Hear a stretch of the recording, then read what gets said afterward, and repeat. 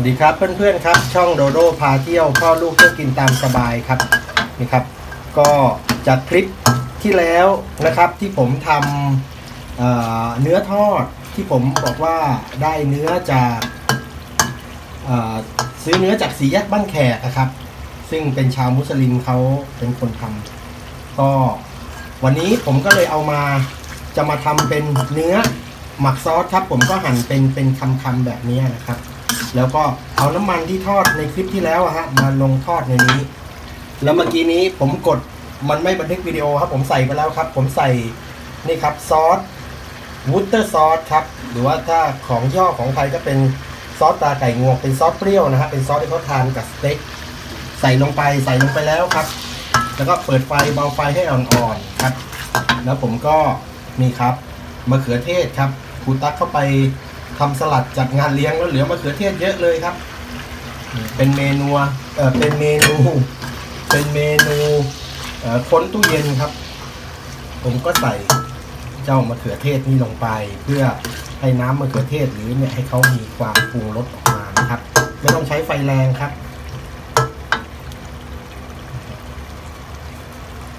ก็จะให้เกิดเป็นเมนูเนื้อหมักซอส เดี๋ยวเอาไปราดข้าวเจ้าน้ำ น้ำเนี่ยนะครับก็ก็จะมีความอร่อย แล้วก็มีรสชาติก็ราดข้าวได้ครับ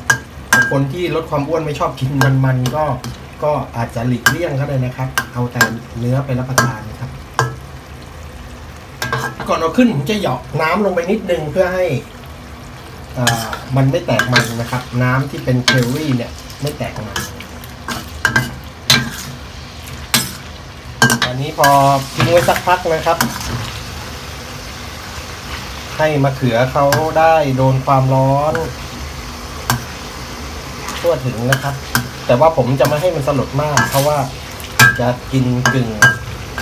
ให้มันยังมีน้ำมันมีความหวานอยู่ ผมก่อนเอาขึ้นครับ น้ำมันหอยครับ ใส่ลงไปนะครับ แล้วก็นี่ครับ เหล้าหวานเหล้ามิลินครับ เพื่อให้มันเกิดความนัวความหวานครับนี่ปิดไฟเลยครับนี่ไฟคนให้เข้ากันครับปิดไฟคนให้เข้ากันผมจะเอาขึ้นแล้วครับดูที่โต๊ะครับ เอามาใส่ถ้วยแล้ว ก่อนเสิร์ฟครับ ผมมีนี่ครับโรสแมรี่นะครับ แบบผง ใบโรสแมรี่ครับ โรยลงไปครับ เพิ่มความหอม ใบโรสแมรี่ครับ เพิ่มความหอมครับอืมครับ อีกน้อย มีเยอะ นี่ครับ อ่า ไปรับประทานกันครับ ครับ เพื่อนๆครับ มาดูที่โต๊ะกินกินข้าวเลยครับ นี่ครับ เนื้อ หมักซอสนะครับ แล้วก็ข้าวเปล่ารับประทานให้เพื่อนๆดูนะครับนะครับครับ เนื้อหมักซอสครับ ที่เห็นเกล็ดๆนี่โรยด้วยใบโรสแมรี่นะครับ ใบโรสแมรี่แห้ง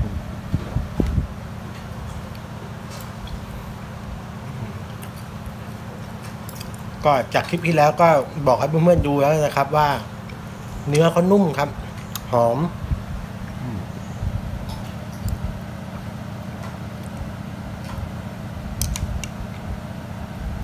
ผมเอามาปรุงตามสไตล์ของผมนะฮะ สูตรคิดเองนะครับ เพื่อนๆครับ เค็มไปหน่อยครับ แล้วก็ นี่น้ำเกลลี่ น้ำเกลลี่เนี่ยราดลงไปครับกับข้าวร้อนๆนะครับ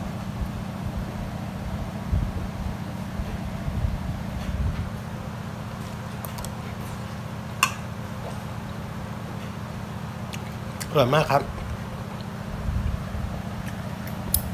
คือเมื่อกี้ที่เมื่อกี้ผมบอกเค็มอะถ้ากินเปล่าๆเค็ม แต่กินมีมะเขือเทศด้วย มีข้าวด้วยเนี่ย ก็กำลังดีครับ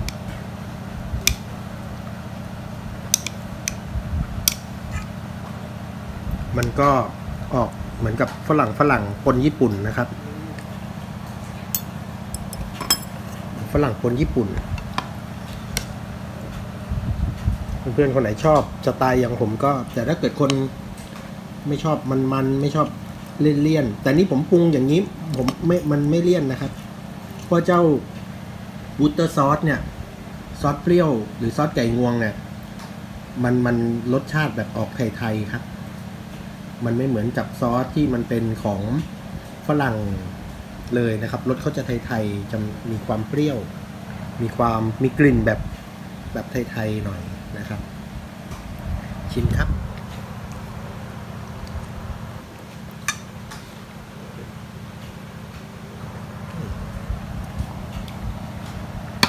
ร่อยมากครับ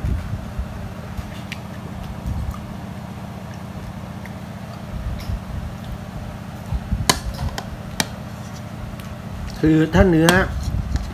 ถ้าเนื้อไม่ไม่เหนียวสักอย่างเนี่ย เมนูเนื้อเนี่ย อร่อยมาก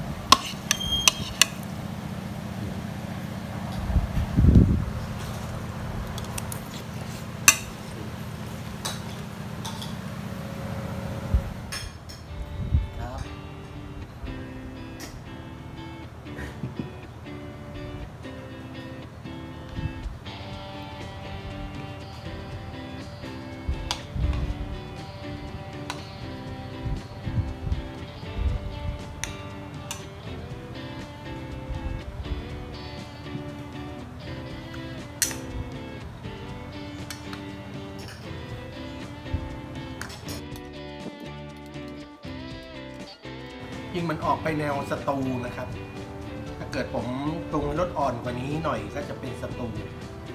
สตูเนื้อ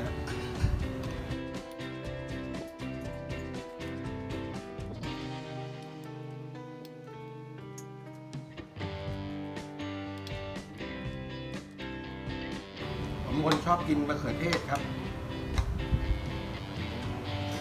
เขือเทศกริวเวลาไปฟู้ดแลนด์อะไรเนี่ยจะต้องสั่งมะเขือเทศย่างสองลูกทุกครั้ง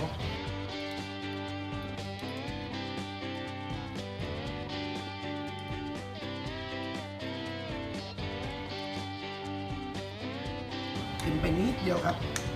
ก็เดี๋ยววันหน้าต้อง เพราะว่าเจ้าซอสหอยนางรมยี่ห้อใหม่ผมไม่คุ้นเคยครับ ก็เลยอาจจะทำให้เค็มไปนิดนึงกลับไม่ถูก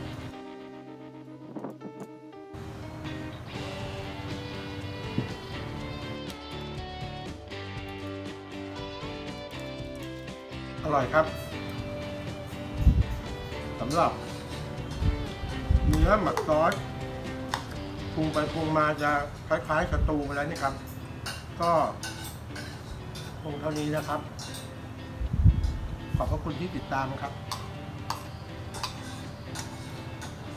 มาชิมคำสุดท้ายปิดคลิปแล้วครับชิมครับ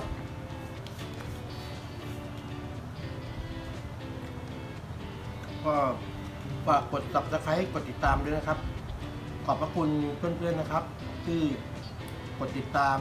กด subscribe ช่องโดโดพาเที่ยวจนตอนนี้ก็เพิ่มขึ้น มียอดวิวมียอดกดเป็นเพื่อนเพิ่มขึ้นนะครับ ก็ขอบพระคุณในหน้าที่นี้ด้วยนะครับ แต่ยังไงก็ยังเปรียบเทียบก็ยังน้อยกว่าคนอื่นๆเขานะครับฝากเพื่อนๆกดไลค์กดแชร์ด้วยครับ ไปก่อนครับ เจอกันคลิปต่อไปครับ ขอบคุณครับสวัสดีครับ